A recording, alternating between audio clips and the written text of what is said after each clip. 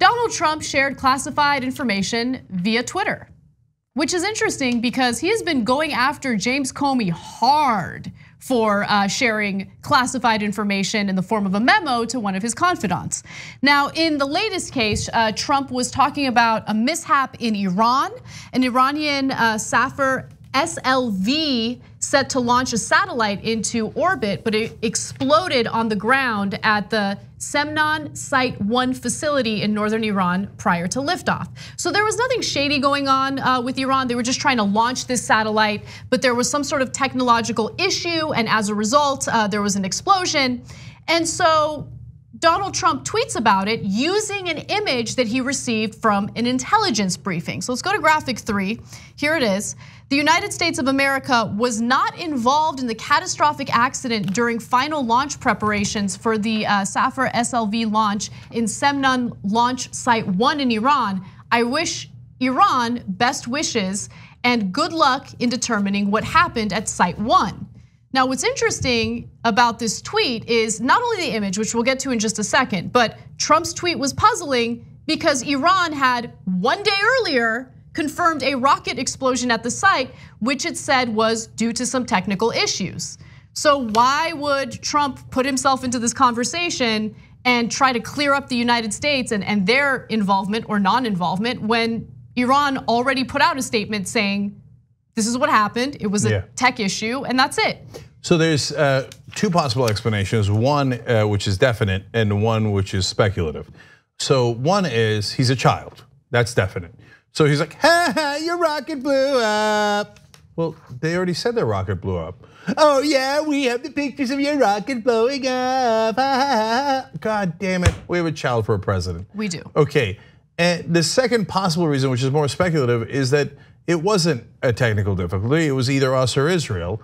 And, uh, and so that's Trump then being a double child and rubbing it in like, ha ha, oh, technical difficulties when we blew up your satellite, right?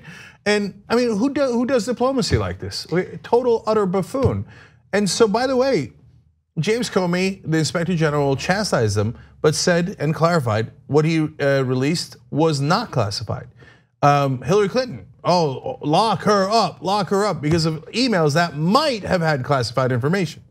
Well, this is definitely classified. This is 100% classified, and I just want to note that the inspector general's um, uh, investigation into what Comey did indicated that the memo had confidential information in it, but it was not deemed classified, right? Yeah. So there's a difference uh, in terms of the classifications there. But I want to go back to the image that Donald Trump shared in that tweet, because that image is most definitely from an intelligence briefing that he had right before he put this tweet out. Now, uh, I, I do want to go to a tweet kind of comparing what commercial satellites can show us in terms of imagery and how it differs from what Trump gets in intelligence briefings, right? So right there on the right-hand side is what commercial satellites will show you. And then on the left-hand side, you have what our intelligence has access to. Now, the reason why it's problematic to share something like this is because it allows other countries, in this case Iran, to know what type of spying methods our intelligence community has right? So intelligence experts have been kind of weighing in on this, and that's what they've been saying. But Donald Trump is defending his decision to put this image out there. Take a look. I just wish Iran well. They had a big problem, and we had a photo, and I released it, which I have the absolute right to do. And we'll see what happens. You'll have to figure that one out yourself. But we'll see what happens. They had a a big mishap. It's unfortunate. And uh, so Iran uh, as you probably know, they were going to set off a big missile and it didn't work out too well. Had nothing to do with us. Okay, so in a best case scenario, he just told all of our enemies how detailed we can see what they're doing on the ground. By the way, Iran has a lot of bunkers. Why do they have bunkers? Because they're worried about what we can see if they're working on something above ground. And we just showed them and the whole world the level of detail that we can have. Now, the that's the less problematic scenario. The more problematic scenario is somehow it has to do with a source on the ground that might have helped facilitate uh, a clearer picture, mm-hmm. okay? Now, I don't know the technical details of how that would work, But I have read in articles that people are concerned about that. Now, if it turns out there is someone on the ground who's helping us, Trump probably just got him killed. Yeah, and also let me just remind you that one of the issues that has increased tensions between the United States and Iran is our behavior in their airspace. Remember, they shot down a US drone. The United States claims that that drone was flying in international airspace. I don't believe the US, I'm just keeping it real. Iran shut, uh, shot down that drone, and that almost led to a full-blown war. Remember, Trump had uh, uh, ordered an airstrike, and then in the last second, he called that airstrike off. I bring that up because in the context of this latest story, he's really stoking uh, the tensions that Iran and the United States are already dealing with. It's a disaster. He's a child. I don't know what his motivation was here, but oftentimes when a president decides to declassify information and share it with the public, you know what he does? He talks to members of the intelligence community to figure out what the proper protocol is so he's not sharing government secrets or secrets from our intelligence community uh, with the public because yeah. that could get lives, you know, could lose lives. So people sometimes are incorrectly saying in articles that uh, the president did nothing wrong. That's not true.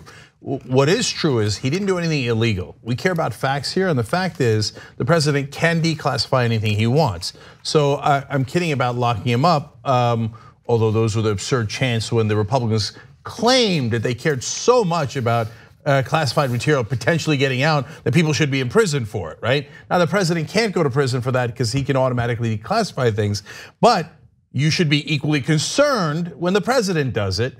And is it something that is wrong? Well, we just explained to you uh, uh, several different reasons why it is deeply problematic. Now, that leads me to the ICE raid in Mississippi. Why?